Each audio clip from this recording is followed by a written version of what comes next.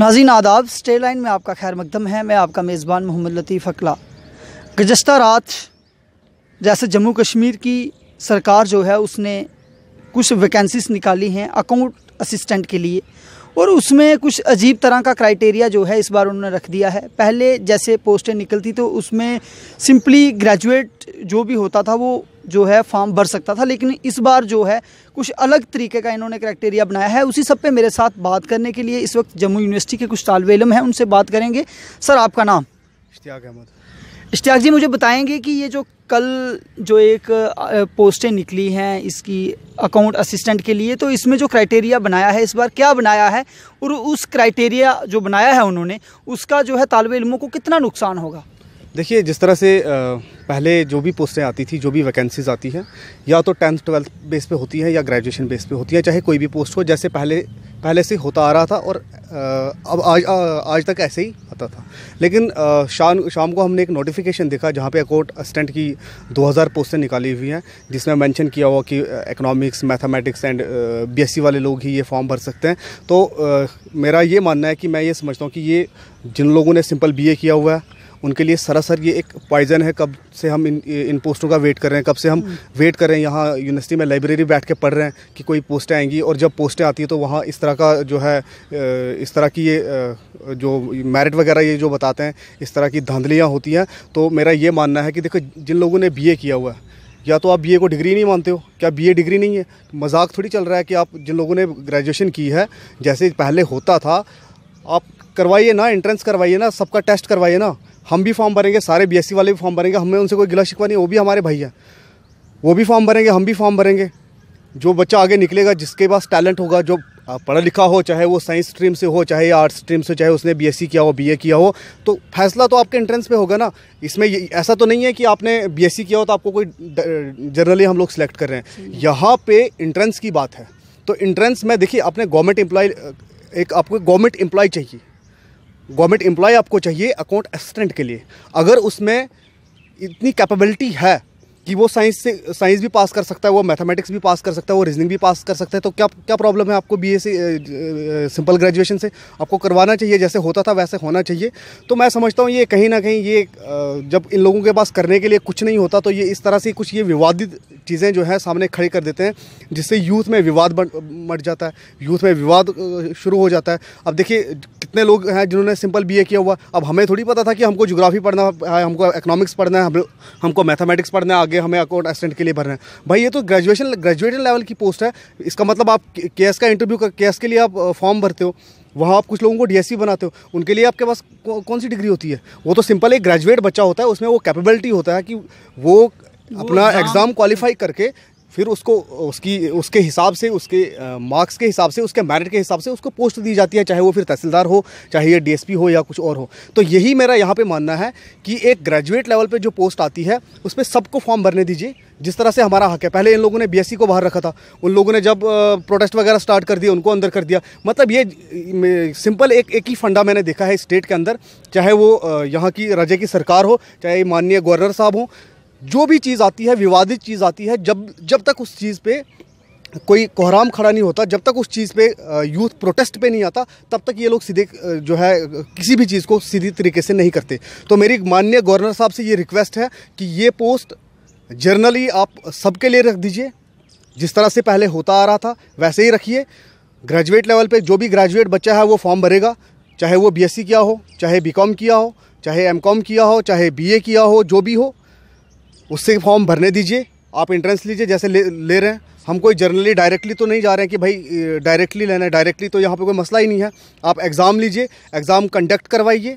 जिस बच्चे के पास साइंस भी होगा मैथ भी होगा रीजनिंग भी होगा इंग्लिश भी होगा पॉलिटिकल साइंस भी होगा हिस्ट्री भी होगा, वो एग्ज़ाम क्वालिफाई करने के बाद जो है आपकी पोस्ट पे आएगा। आप उससे, उस तरह से रिक्रूट कीजिए। वरना मैं ये कहूँगा कि जिस तरह से ये विवाद खड़े किए जा रहे हैं तो मैं समझता हूँ कि ये बहुत काफ़ी दुखद है। हमारे लिए ये फैसले जिन्होंने सिंपल बीए किया हुआ, उनके लिए काफ़ी दुखद है। और मैं आपके माध्यम से बिल्कुल गवर्नर साहब से ये रिक्वेस्ट करना चाहता हूँ। पहले मैं ये रिक्वेस्ट ही कहूँगा कि इस जो ये फैसले लिए हैं, इन ऐसे फैसलों को जो एंटी यूथ फैसले हों, जो यूथ में, आपस में विवाद खड़ा करवाने वाले फैसले हों, ऐसे फैसले ना लिए जाएँ। अगर ये फैसला वापस नहीं होता, देखिए, हम भी पढ़े लिखे हैं, हम भी यहाँ घरों से आए हैं, हम भी यहाँ पर पढ़ने के लिए आए हैं। और पिछले पाँच साल से यहाँ पे वेट कर रहे हैं लोगों का कि हमारे लिए पोस्ट आएँगी। पहली बात तो ये लोग पोस्टें क्रिएट नहीं करते। भैया दस दस हज़ार एक एक डिपार्टमेंट में आपका पोस्टें हैं। सही है। आपकी हायर एजुकेशन में सात हज़ार कुछ पोस्ट है मैंने परसों सारा डाटा चेक किया और पाँच हज़ार आपके पास पुलिस में पोस्टें हैं बाईस सौ आपके पास फोर्थ क्लास की पोस्टें आप पहले तो आप पोस्टें नहीं निकालते। अगर आप पोस्टें निकालते हो तो, तो उनमें आप विवाद खड़ा कर देते हो कि इसमें जी फलाना भरेगा इसमें फलाना देखिए ग्रेजुएट लेवल की पोस्ट है मेरा ये मानना है कि ग्रेजुएट लेवल की पोस्ट है उसे वही रहने दीजिए। अगर ये फैसला वापस नहीं होता तो हम ठीक चार पाँच दिन के बाद मैं पूरे जम्मू में जम्मू में एक कॉल दूँगा, पूरे जम्मू में प्रदर्शन स्टार्ट होंगे, क्योंकि हम अपने हक के लिए लड़ना जानते हैं, हम पहले भी लड़े हैं और आगे भी यूथ के लिए लड़ेंगे, अपने लिए लड़ेंगे। ये हमारा हक है कि हम भी इस चीज़ के लिए लड़ेंगे, हमारा भी अकाउंट असिस्टेंट पे हक बनता है। हम भी ये एग्ज़ाम पहले दिए हैं, जिस तरह से पहले होते थे। माननीय गवर्नर साहब से मेरी ये रिक्वेस्ट है कि जो प्रोसेस था, जो जिस तरीके से जो एग्ज़ाम कंडक्ट होते थे पहले, आप उन चीज़ को उसी लिए, उसी तरीके से रखिए। आप बस सिर्फ़ जो पोस्टें वैकेंट पड़ी हैं आपके पास, जो आप सिर्फ़ स्टेटमेंट्स देते, जाते हो, उन स्टेटमेंट्स पर प्रैक्टिकल काम करो, जो जेके बैंक में घोटाले हुए हैं जो आप, आपने कहा था बैकडोर एंट्रीज हैं हमें वो निकाल के बताइए। और जो वैकेंसीज़ आपके पास खाली पड़ी हैं आप वो वैकेंसीज़ जनरेट कीजिए हम लोग फॉर्म भरेंगे। बाकी एग्ज़ाम क्वालिफाई करना अगर हमसे एग्ज़ाम क्वालिफाई होगा अगर हमें इतना स्टमना होगा हम एग्ज़ाम क्वालिफाई करेंगे हम आपकी पोस्ट के लायक बनेंगे। वो हमारा हमारा हिसाब है कि हम किस तरह से वो एग्ज़ाम क्वालिफाई करते हैं लेकिन इस पोस्ट को जनरली ओपन कर देना चाहिए। सही है सही है। मैम आपका नाम? मेरा नाम मंजू है। मंजू जी, मुझे बताइए कि ये जो कल शाम को एक नोटिफिकेशन आया है जिसमें अकाउंट असिस्टेंट की जो है पोस्टें आई हैं तो उन्होंने, इन्होंने एक मतलब कि क्राइटेरिया बना दिया है कि जो बीएससी स्टूडेंट हो गए, जिन्होंने मैथ और इकनॉमिक्स पढ़ा होगा, वही जो है फॉर्म भर सकते हैं। तो मुझे बताइए कि इसमें जो है बाकी स्टूडेंट जो हैं, जो आर्ट्स में जो पढ़े हैं, जिन्होंने पोलिटिकल साइंस पढ़ा है या जोग्राफ़ी पढ़ा है तो उन तालब इलमों को कितना नुकसान होगा इसका? बट एक पहली बात यह है कि वह सब बच्चे एक इक्वल पढ़ते हैं। कोई नहीं है कि वो पहले वो जाए, पहले वो जाए, सब बच्चे एग्ज़ाम के लिए प्रॉपर पढ़ते हैं। इसलिए मैं चाहती हूँ गवर्नर साहब को कि वह पोस्टें सब बच्चों के लिए एक ही निकाले और ज़रूरी नहीं है कि बी कॉम और बी एस सी वाले फिल करें। सब फिल करें, उसके बाद पेपर दे, उसके बाद देखा जाए कि कौन जा सकता है, कौन नहीं जा सकता इसलिए मैं चाहती हूँ कि ये नोटिफिकेशन कैंसिल होकर फिर से नई नोटिफिकेशन निकाले कि सब बच्चे फॉर्म फिल कर सकते हैं। और अगर मंजू जी, ऐसा नहीं होता तो फिर आप जो स्टूडेंट्स हैं, वो क्या करेंगे? वो तो फिर बच्चों के गलत हुआ ना कि जो बच्चे पढ़ते हैं तो वो बी कॉम वाले और बी एस सी वाले आगे चले जाएँगे, वो जो बी वाले तो फिर उनकी कोई वैल्यू नहीं रहेगी। इसका मतलब फिर गवर्नर ने सब बच्चों ने यही सोचेंगे, हमारी बी ओ की कोई वैल्यू नहीं की तो और हम पढ़ने का हमारा क्या फ़ायदा? है इससे अच्छा कि हम पढ़ते नहीं और रहने देते। इसके मतलब इस टाइम में पता चल रहा है कि बी ओ की बी ए की क्वालिफिकेशन कोई नहीं है इस टाइम मतलब कोई इसकी वैल्यू नहीं है कि किसी ने बीए की है या नहीं की है। इसलिए कुछ और स्टूडेंट्स भी हैं मेरे साथ यहाँ पे उनसे बात करेंगे। सर आपका नाम? मोहम्मद खालिद।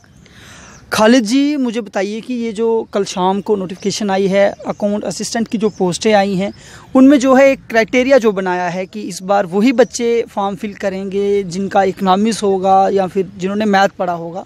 तो इस क्राइटेरिया को आप किस तरीके से देखते हैं? देखिए सर जो क्राइटेरिया है क्राइटेरिया अगर बना हुआ है लेकिन हम इस क्राइटेरिया को नहीं एक्सेप्ट करेंगे जो एंटी स्टूडेंट्स हैं। जी। क्योंकि अगर एक ग्रेजुएट स्टूडेंट जो बीए है या बीएससी है या बैचलर किसी भी किसी भी अदर ब्रांच से है तो वो अगर यूपीएससी या पीएससी यूपीएससी या पीएससी का एंट्रेंस क्वालिफाई कर सकता है वो यूपीएससी या पीएससी का एंट्रेंस क्वालिफाई करके उस पोस्ट पर जा सकता है। तो अकाउंटेंट पोस्ट उसके लिए क्या है, क्या है? तो ये जो क्राइटेरिया है ये हर एक सिंपल ग्रेजुएट के लिए भी होना चाहिए क्योंकि जब भी स्टेट गवर्नमेंट का कोई भी स्कीम या कोई भी पॉलिसी आती है वो एंटी स्टूडेंट्स आती है।